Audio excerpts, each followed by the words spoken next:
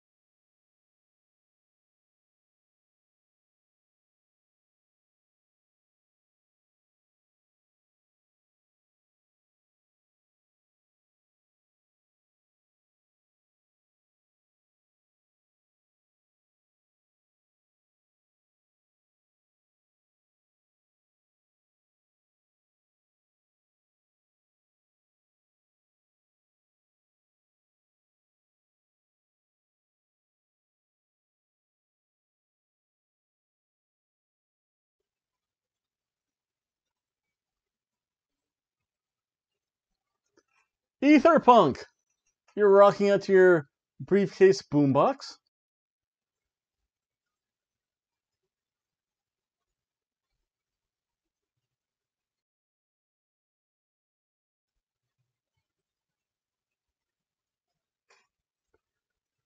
Who is this, Mark? You, sir, can crawl right out of here.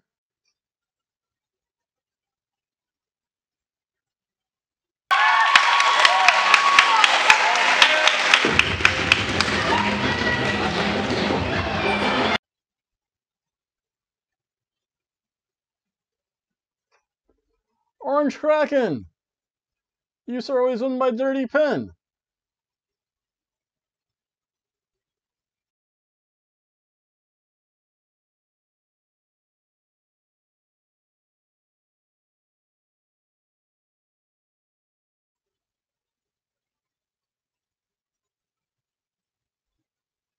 Know, just because this is a little more fitting,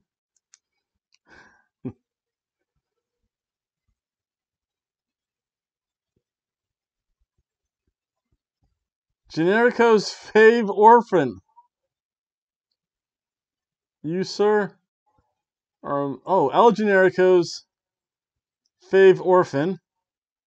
You are a member of the El Generico band!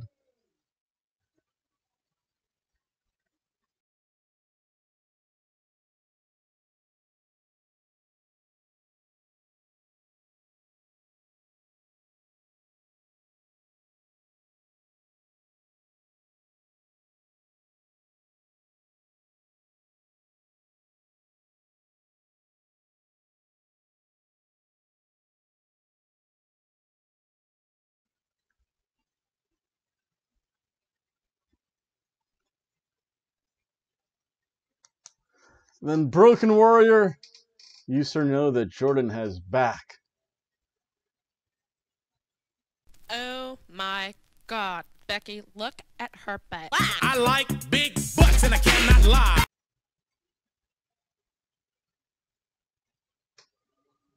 Again, if you've interacted with me somehow, either by comments, um, remember I do do my live stream reaction show, only reaction show on Impact Wrestling on Tuesdays. Everything else is kind of taped because I don't even want to mess with the big companies. No. Thursday, tomorrow, depending on the weather, I might put out a special video that night. Actually, because actually, for some reason, I have a lot to do throughout the stay home order. I don't know. I have to go to the bank. I gotta get stuff notarized. I have to get fingerprinted. I might have a government job soon. That'll be that'll be interesting. Uh, let's see here. So let's start with some AEW. AEW, AEW. And wow. This is going to be a long no audience show if this continues because this was actually the best match of the night, I think. It was Colt Cabana taking on Lance Archer, and that was pretty cool because Lance Archer came out they had like their little like wrestlers on like the side. For one time, there was only like one heel, and then all the other faces were on the other side. And I don't know who it was. Lance Archer just like knocked someone cold. I didn't even know who that was. Uh, of course, Chris Jericho is back on commentary. Chris Jericho should always be on commentary. Uh, he was hoping he, he knocked out um, Pineapple Pete, who we'll actually see later in this match as Suge D. So we'll get to that later. But he just like knocked out some cold. That was awesome. That guy felt like a sack of potatoes. And then like not even to begin the match, Archer then just knocked down Colt Cabana to like a forearm to the face. Whoa, this is oh, did I mention it was Colt Cabana? Boom boom. Colt Cabana taking on their murder hawk. Lance Archer. That's kind of okay, I guess. Um, so this was fun. So Lance Archer came out. He knocked out some some some plants in the crowd. Then he came in the ring and decided to knock out Colt Cabana too. Whoa! So this starts off pretty quick. This was actually really fun. Um, for a while, I didn't know who's going to win. There was a little Colt Cabana promo before this, and Chris Jericho even mentioned Colt Cabana's podcast. Indeed. Oh wow, this is coming back. Coming back a lot quicker than I. Yeah, one week. Indeed. Yeah, if you didn't see me like last Friday, I was like completely shaved. Now this is like where I normally am. So I haven't touched a razor in like not even a week, and I'm still like super scruffy. That's okay. Um, here. So Lance Archer, they finally ring the bell. He's in the ring. Colt goes out of the ring. When they switch positions, Archer goes out the ring. Colt goes in. Colt Cabana is playing those mind games. Lance Archer. Um, uh, Colt then very classic arm wringers. Definitely doing the stuff Colt Cabana is known for, even going back to his days with Chikara, uh, Pro Wrestling Guerrilla. Still very comedic like. Again, Colt Cabana and Yano, match of the year, always. Unless it's Yano versus Orange Cassidy. Ooh, a three-way threat. Colt Cabana versus Orange Cassidy versus Yano. Match of the year. That just be nonstop goofness. Don't even have a word for it besides that. Uh, so after Cole was doing his arm wringers, he eventually got caught into a full Nelson slam. And it was like, they said, Larry, I, this look like the old fashioned clothesline from hell. And Lance Archer somehow hit a standing twisted bliss. That's pretty impressive.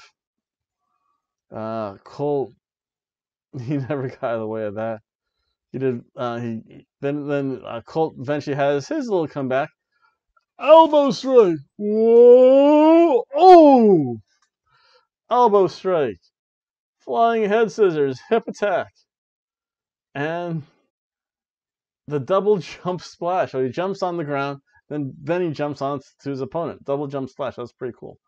Archer then pounced him, which even Chris Jericho got right. And choke slam. Yeah, that was it. That was it. Uh, Archer then hit the Blacken, whatever it's called. It's like the reverse ra- flippy razor's edge. Lance Archer wins. He goes on to the tournament. Actually, I thought this was a really good match. There was good action from both, good ring psychology. Colt Cabana is just a joy to watch. Uh, this was a good surf and turf match.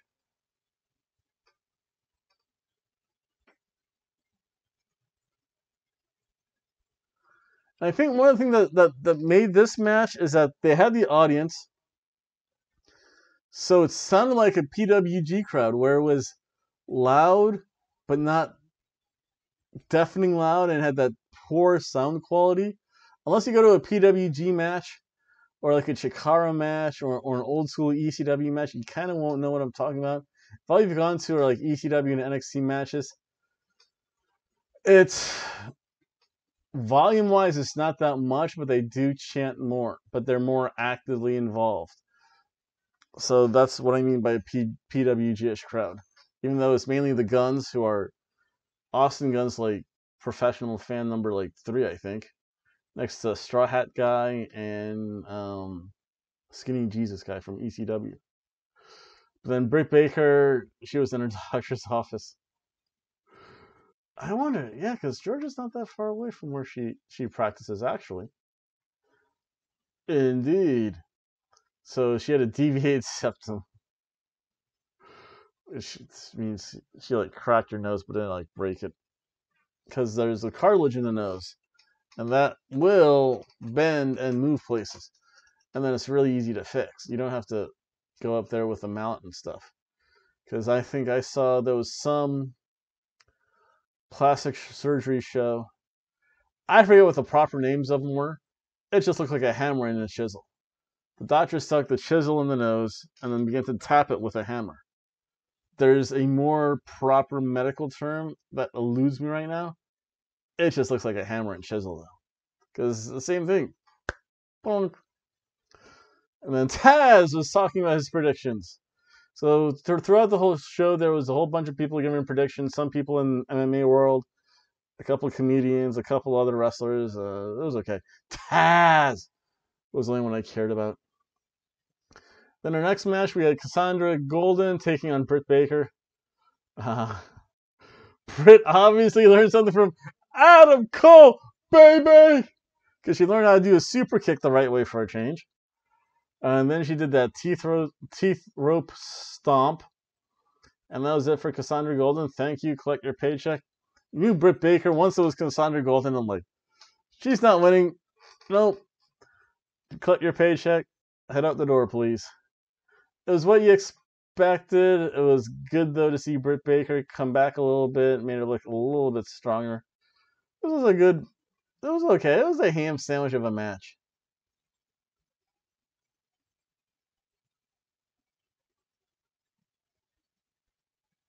I wonder. Adam Cole's in NXT, and one of the top people in NXT, by the way. I wonder if he would have any sway saying, "Hey, listen, my girlfriend's a wrestler with this other league. She can come in here. It's good with me." I wonder if he has any sway about that. Who knows? Then there was the bubbly bunch, dun, dun, the bubbly bunch. Dun, dun, this the way they became the bubbly bunch. Um, really just members of the inner circle: Hernandez, Ortiz. Um, oh, Santana and Ortiz. I'm sorry, Santana, Ortiz, Sammy Guevara, and Chris Jericho were like Facebook like video chatting and Facebook messaging like live each other. That was kind of fun. Jake Hager was there. He's just like chilling at the pool. It's like kids cover your ears. Daddy's gonna say something bad, and then both kids like literally put their hands over the ears, and then of course Jake says, "I'm gonna beat the I'm gonna beat the shit out of you," and like you just have this like look of these kids. You're like? That was that was fun. That was actually kind of cute. That was funny though. That was a pretty good, decent segment. Then they had Suge D versus Sammy Guevara. Yeah, the Suge D starts doing the Shug train. Yeah, Sammy Guevara was having none of it. For the most part, Sammy Guevara just looked annoyed. He's like, "What's this garbage?" Uh, it was classic, uh, classic standing wrestling match. Kind of nothing that uh, fancy. Sammy Guevara did have a pretty good vertical suplex. Um, Suge he got a little offense. Sammy got most of it. Again, Sammy's a superstar. He did the what is it? Oh, he did the squatting Samoan drop. That was pretty neat. And Sammy hit. He yes, yeah, she he has a pretty good looking GTS. He hit that on on Suge D. That was it. Lights out. A ham sandwich of a match.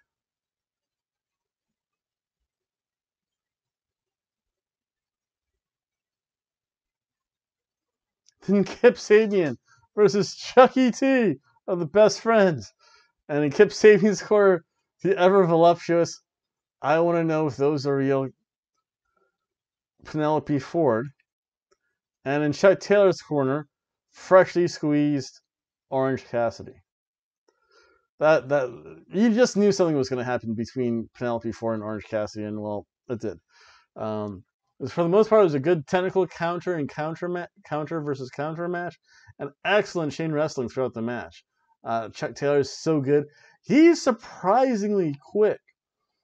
And then I guess because he's his fellow countryman stuck in America because of coronavirus, uh, Jimmy Havoc was there too. I still think he should be even in kayfabe the brother of Jessicka Havok. That's okay. Um, Chuck Taylor he has some chops. Woo! That make the Nature Boy proud. Uh, let's see here. Chuck T actually for most part seemed faster than Kip Sabian. I mean Kip Sabian kind of posed with Chuck T when he got him down in the corner. That was that was funny. Penelope eventually gets her shots in, but then uh, Chuck Taylor has a Michinoku driver, which is pretty good for just a two sweet count. Uh, Chuck then uh, it was really weak. I think it was Chuck that did the really weak eight to feet.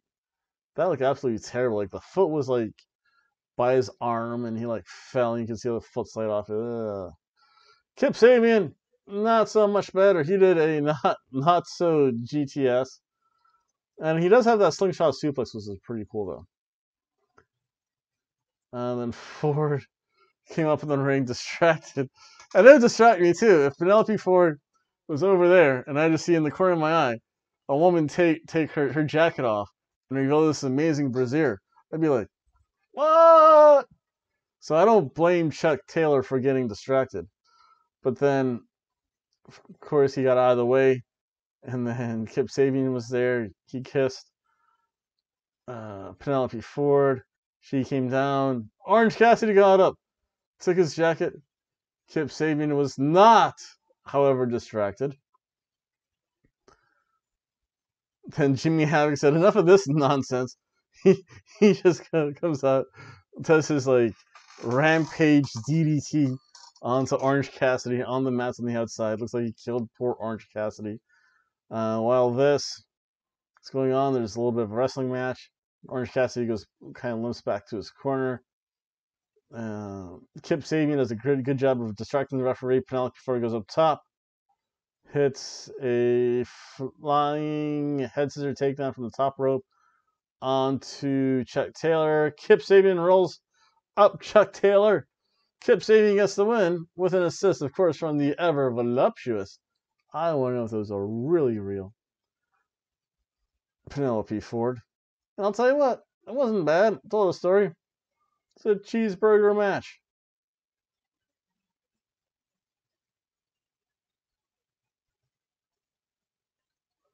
Then we had Justin Law taking on Shawn Spears.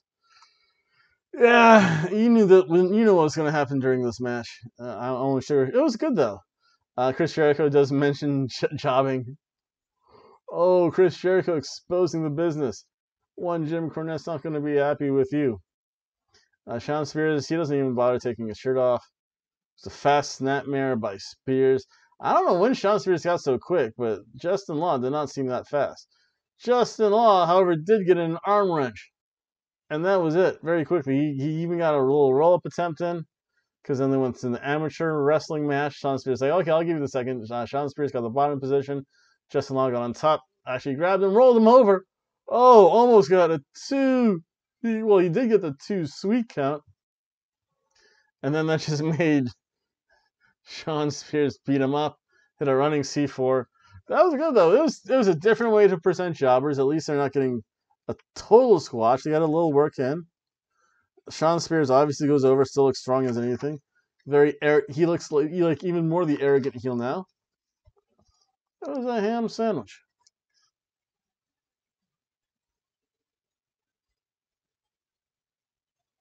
And wow, I, I need a burst of sugar for, for, this. Because I can drink soda now because lunch's over. All I've had is like booze, soda, and meat. It's, it's terrible.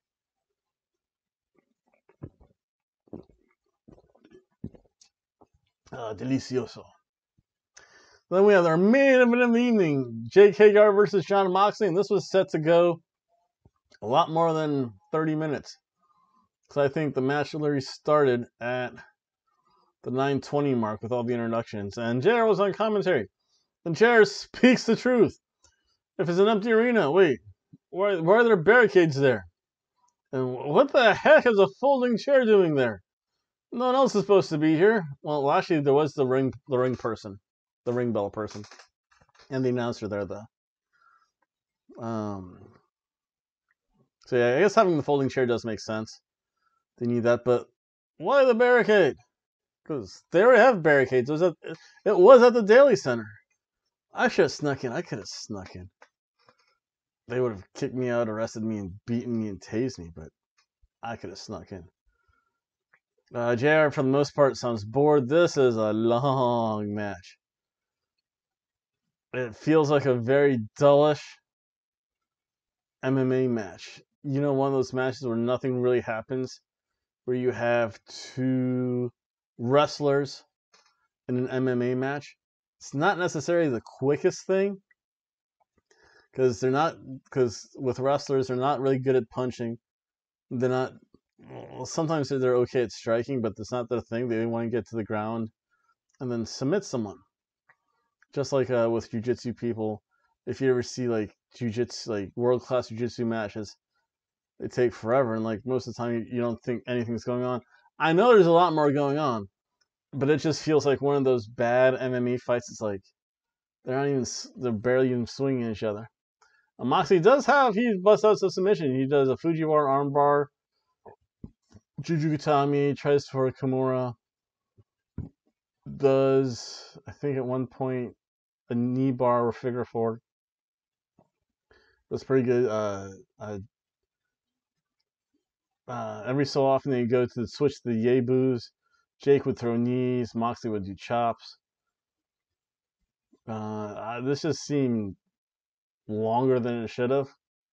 And for all the hype they gave this match, JR just seemed to be droning through it like, oh, why is there chairs at the ring? And why did we have a barricade there? Oh, now the action goes into the. It's just. It wasn't exciting. And people are saying, oh, this is going to be the best empty arena match ever. No, it's not. Mankind and The Rock is still the best empty arena match in their boiler room brawl for the Super Time halftime show. Oh, I forget, but way back when. But well, now it's way back when. That was the best empty empty match arena. It looked like something that you'd actually see in an empty arena. It's like it's an it's a sanctioned match, but it's a false count anywhere. Do whatever you want. If it was me, I'd show up there a garbage can with a keyboard, cheese grater, uh, barbed wire, barbed wire wrap baseball bat, a two by four with nails sticking out of it, a reciprocating saw, and a weed whacker. Especially if I'm just going against some MMA guy. No, this is a no DQ match. Yeah, guess what? I'm bringing everything short of a gun and a hunting knife. Because that would be really obvious. I'd also have a fork in my trunks. I don't know how I would fit that there, but it would be it would be next to the brass knuckles though. Uh, and I don't know. It's just and again, why do you need a security rail? And it is the Daily Center in Jacksonville again. I should have snuck in there. It was really slow and plodding. Then they finally got to the chairs, and that's all they used and I even mentioned them like this. This is uh supposed to be like their hardcore match. They use like chairs, a barricade. It's a no DQ, false count anywhere street fight type match, empty arena brawl. There were no thumbtacks, no barbed wire. Heck, they didn't even have any bags of gummy bears. And to those of you that have seen the Candice LeRae and Joey Ryan taking on the Young Bucks, you know exactly what I mean. So they didn't have any of the the fun stuff, I guess. And like the, there was no blood. I'm like, dude, I'm gonna take this baseball bat to your head, J- Jake Hager. No, you're not putting me in the ankle lock. That's not happening. Put me in the ankle lock. I'm gonna grab this freaking barbed wire baseball bat and whack you in the whack you in the leg with it till you till you let go or something. I'll figure out something to do. Heck, I'd even juice. Little, little, little nick right there. So, oh, all right, I'm a bloody mess. But then uh, Moxie did some counters. Eventually, he hit the paradigm DDT on a chair. That's it for all, all this hype. Boom! This match, no, WWE's actually put on better empty arena matches.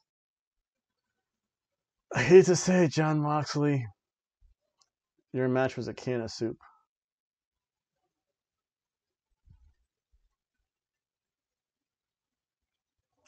And that was AEW. So again, tomorrow I might make a special video. It depends on the weather if I can get fishing or not.